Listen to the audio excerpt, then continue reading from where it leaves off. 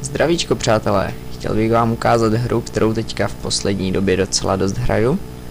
Jmenuje se to Kerbal Space Program. A je to hra o stavení raketek a pak lítání s nima do vesmíru. Editor raketek je tady takový hezký, uživatelsky přívětivý. Na počátku si zvolíte nějaký řídící modul, dejme tomu třeba pro tři lidičky.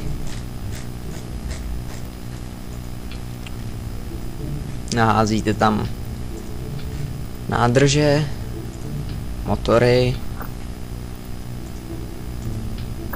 kroužky pro oddělování fází, opla, na sebe moc nepasuje. Nevadí, my si poradíme.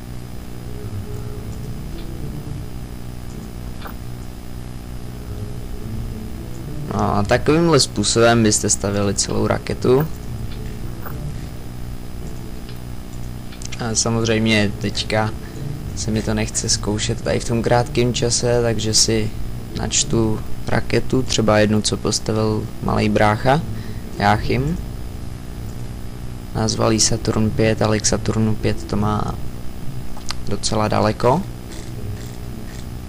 Takže co tu vidíme? 8 solid rocket boosterů, jsou motory na tuhý palivo, který nejdou vypnout, pak jeden velký hlavní motor, pak tu je nějaký menší motor, no stejně velký motor, jenom s menší nádrží, pak tady je menší motor, opla, pak tady je nějaký atomový motor, ty jsou dobrý, že mají dobrou účinnost, málo žerou, ale malý výkon. Poslední nádrž je oddělovací tady tím portem a ještě je tady řídící jednotka, takže když tohleto zadokuju k nějaký stanici, tak tady s tím můžu ještě odletět a zarokovat to jinam. To se hodí, když stavíte třeba nějakou raketu na orbitu. No, tak teď si zkusíme, jak se s tím lítá.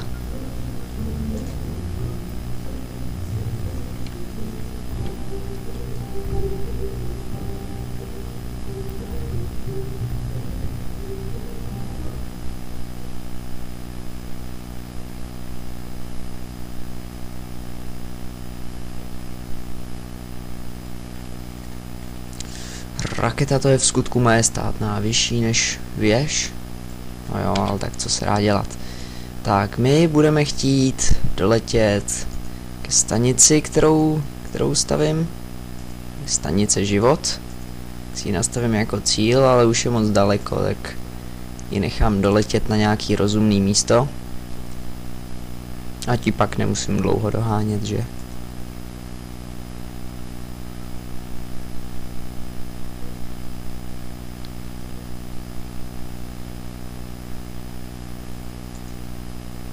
Už bude možná trochu pozdě, no.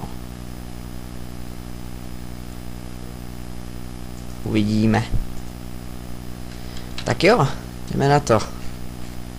A ono mezi tím nastala noc. Pěkný, tak budeme startovat v noci.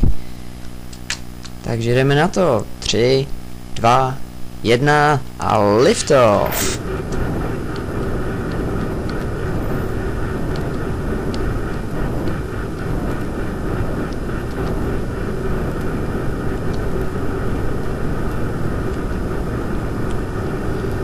Jak vidíte, Solid Rocket Boostery tady pálí svoje palivo, až dohořej, tak je odhodím. A hlavní motor ještě má hromadu paliva, akorát se začíná přehřejvat, takže bych měl snížit výkon trochu. Výkon se dá snižovat jenom u motoru na tekutý palivo, protože SRBčka prostě hořej a jak jsou zažehnutý, tak sfouknout nejdou. Takhle to funguje tuším i u pravých raket, některé rakety teda mají segmentovaný SRBčka, takže když se potřebuje nějaký vypnout, tak se jenom nechá dohořet jeden z těch segmentů a další se už nezapálí. Což nic nemění na tom, že prostě hodně těžký s takovým hořícím SRBčkem něco udělat, když ho nechcete mít hořící, že? Takže jak jsme na tom?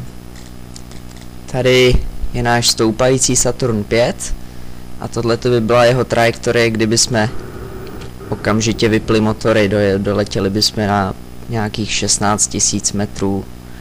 Ale protože motory jsou pořád zapnutý, teda až doteď, teď mi došlo palivo, takže odhodit a další fáze. Takže o co tady jde? Eh, tohle je apoapsis, jakoby nejvyšší bod toho vrhu, toho hodu, jako balistického letu vlastně. A já potřebuju apoapsis dostat nad atmosféru, to znamená nějakých aspoň 70 km. To ještě chvíli potrvá, ale už se tam pomalu dostáváme.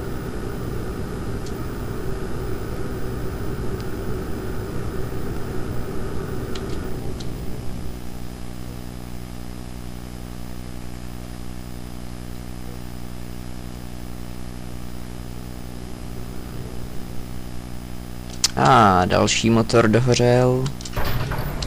Takže předposlední fáze, s tou už bych se měl dostat poměrně vysoko. A až budu poměrně vysoko, tak stačí jenom získat horizontální rychlost a dostat se tím na orbit.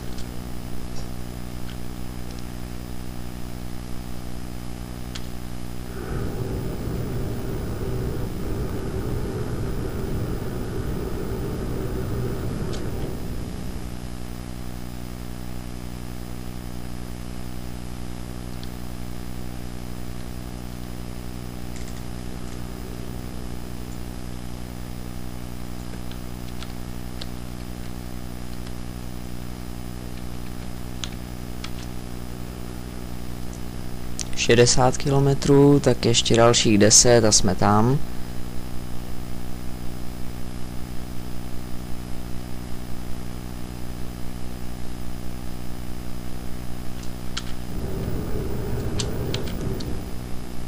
Všechno vysvětluje, já neměl motor na plný výkon. Ach jo. Jsem si říkal, že stoupám nějak pomalu. No tak snad to ještě na orbit vytáhnu.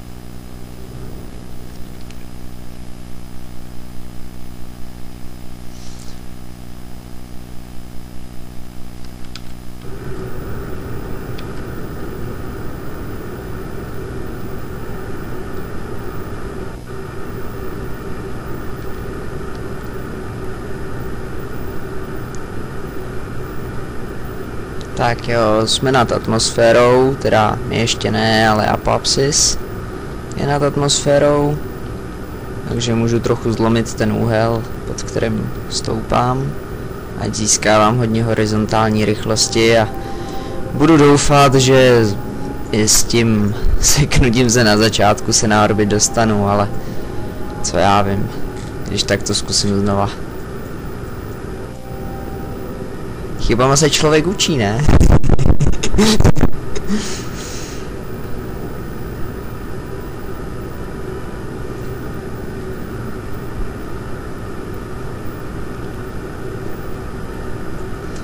No, možná si řeknete, no jo, ale u raket, divili byste se. Američani to tak dělávali, Rusové snad taky. Ajajaj, my už klesáme.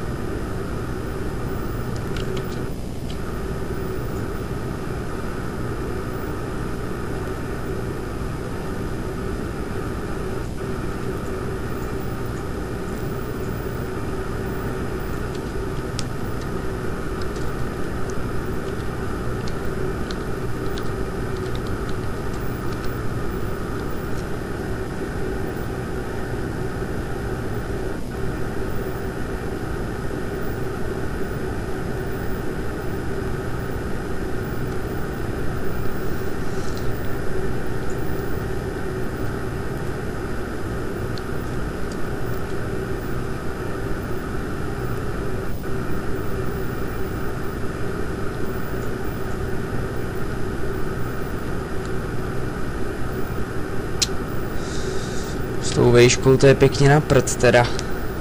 Už jsem zase v horní vrstvě atmosféry. Ach jo. No budu rád, když se tady s tou chybou na začátku na ten orbit dostanu, ale co by zbývá než doufat. Ještě trochu zvedneme apoapsis, když už je před náma zas.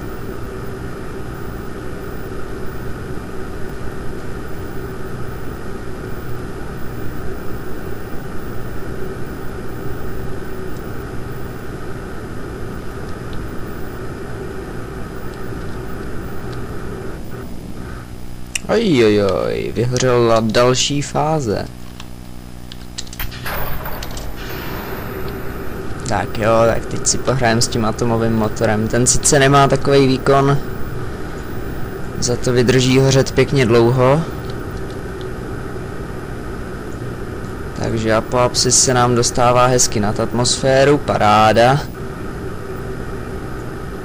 A trajektorie už se začíná tady hezky objevovat.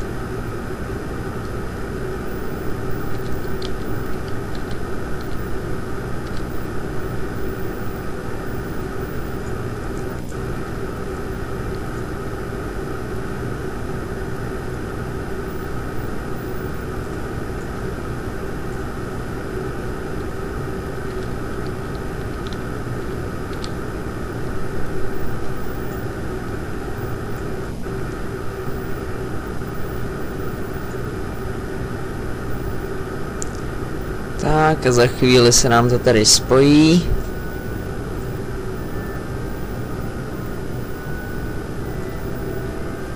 Periapsis. Necháme to vystoupat hezky nad atmosféru. Se jenom podívám, jak...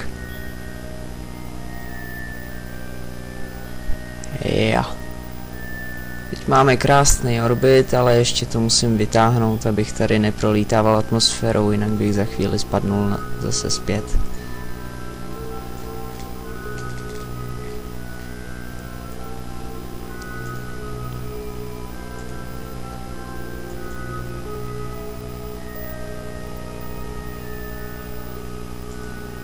Tak, teď teda vytáhnu vejšku na odvrácené straně.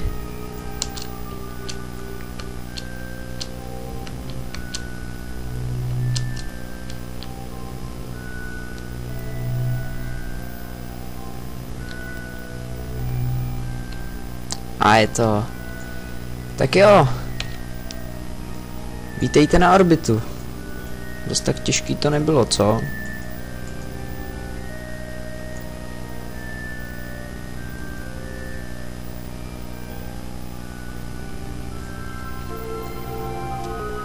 'Tak, co budeme dělat teď? Teďka, když už jsme úspěšně na orbitu, tak se můžeme podívat, jak daleko jsme od tady té stanice. No, ještě docela dost daleko, nějakých 200 km, ale přibližujeme jsme. Jsme na nižším orbitu než stanice, to znamená, že máme vyšší rychlost.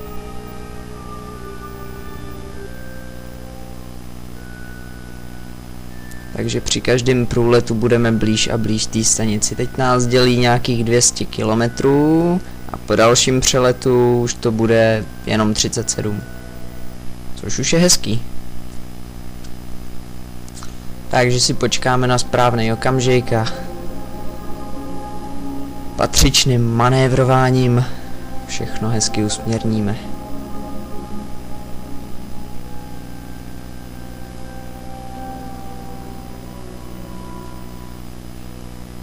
9 kilometrů.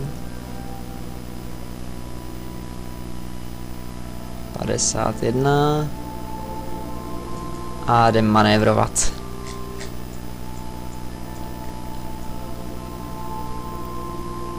Takže takhle vypadají naše orbity. Tady už se mi umělej horizont přepnul na zobrazování relativní rychlosti.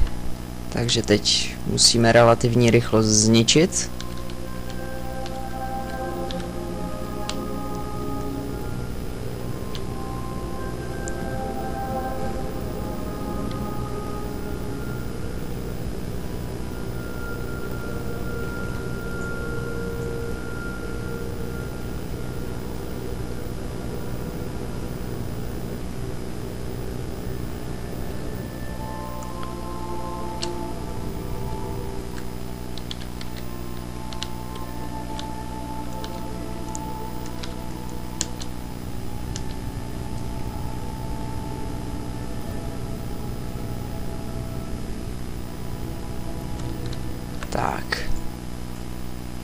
Čekáme, až se tady přiblížím, přiblížíme na ty 4 kilometry.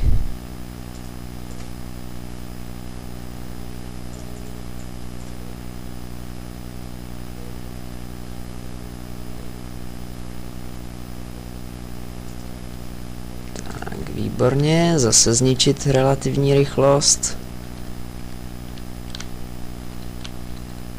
Já vím, že v praxi se tady to asi dělá o mnoho efektivnějším způsobem, kdy všechno je naplánovaný dopředu, na druhou stranu já nejsem NASA, že jo.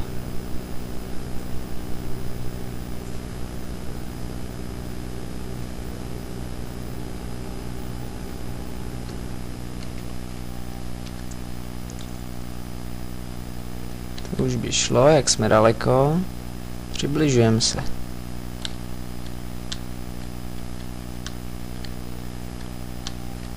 Tak, tady to fialový, to mi ukazuje, kterým směrem je můj cíl, to znamená, už vidíme stanici život tamhle, akorát je to na noční straně, takže to nevidíme moc.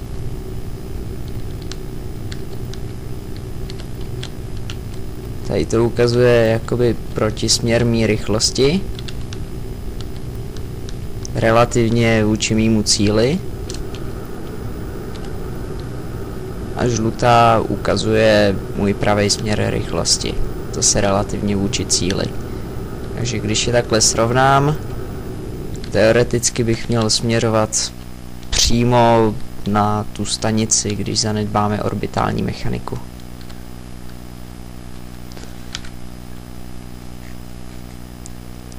Takže jo, přiblížíme se na 300 metrů. Až tam budem, tak to zase trošku skoriguju a pak už se přepnu na RCS a to ovládat jemněji.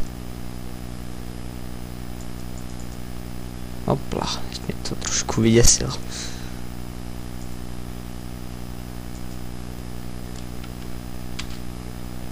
Tak jo, tamhle se nám blíží naše stanice, akorát máme příliš vysokou relativní rychlost, nějakých 30 km a 30 metrů za sekundu.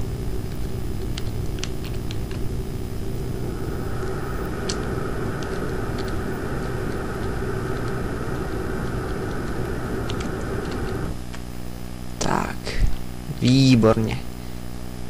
Jsme krásně blízko. Takže se přepneme na dokování.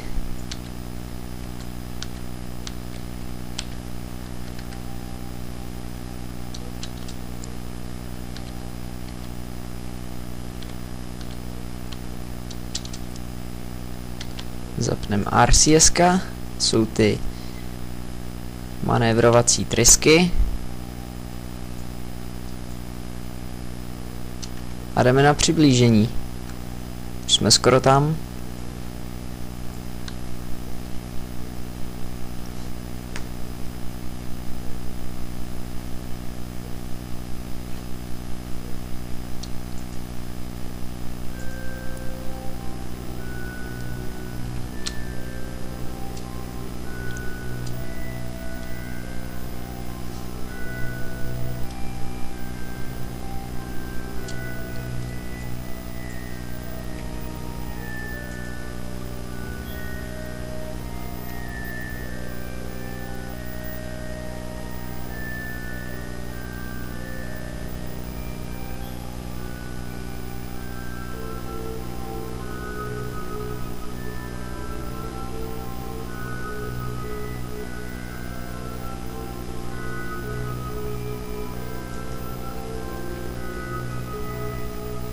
Nás od stanice dělí jenom nějakých 127 metrů.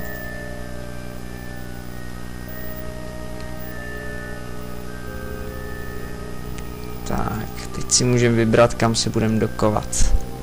Takže tu přední část připojíme asi tady k tomu řetězu.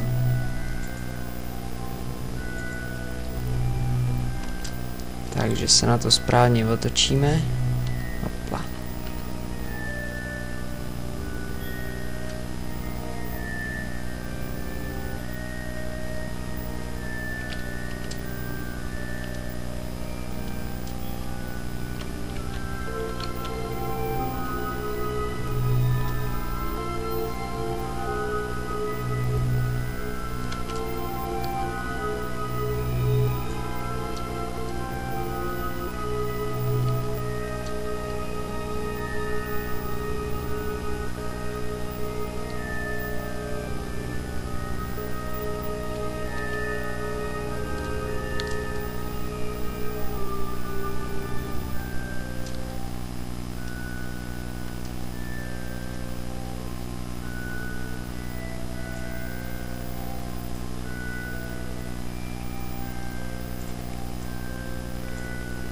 Tak jo.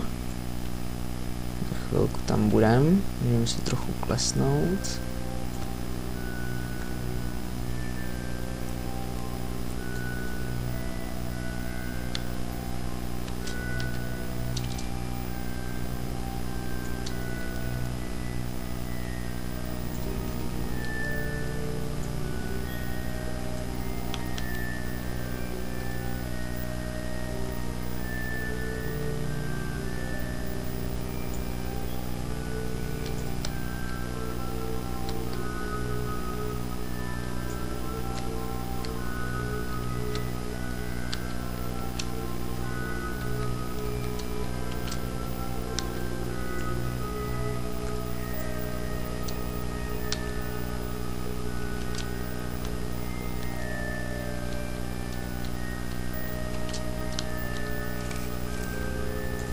Tak, taky můžeme už otevřít tady ten dokovací port.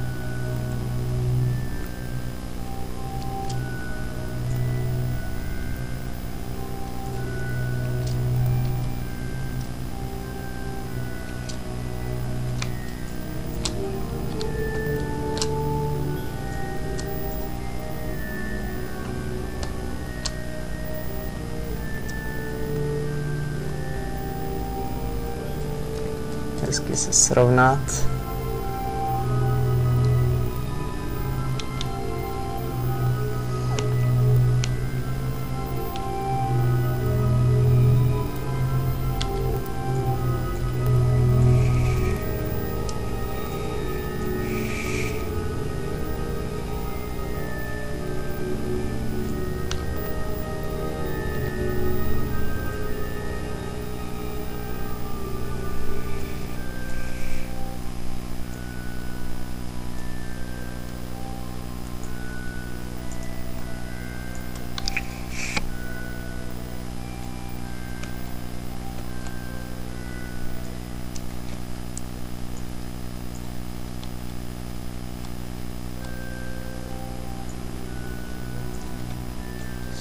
Jsme tam příliš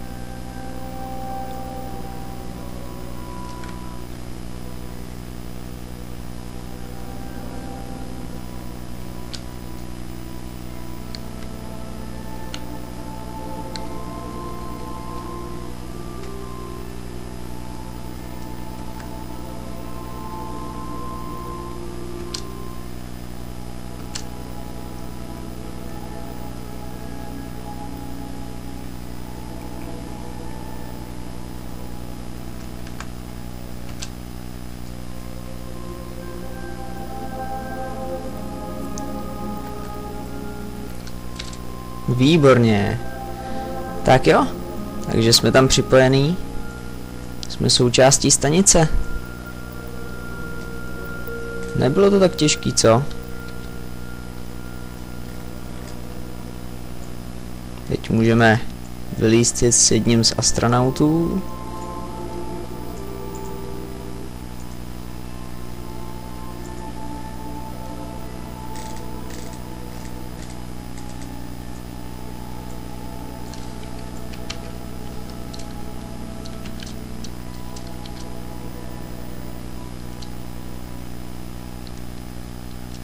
Si proletět okolo naší stanice.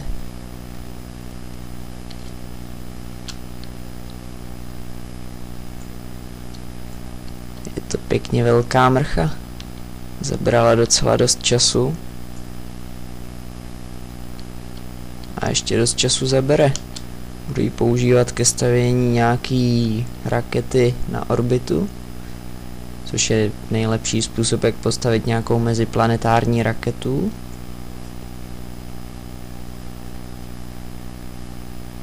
Protože jinak byste museli jednou raketou vytáhnout obrovské množství paliva to by bylo dosti neekonomický.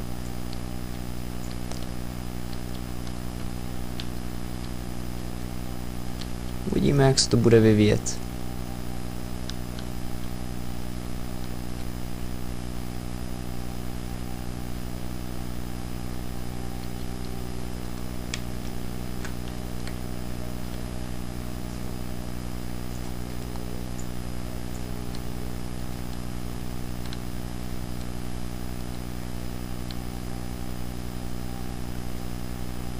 Jako, tak pro, prozatím se můžeme jít ubytovat do nějakého ubytního modulu.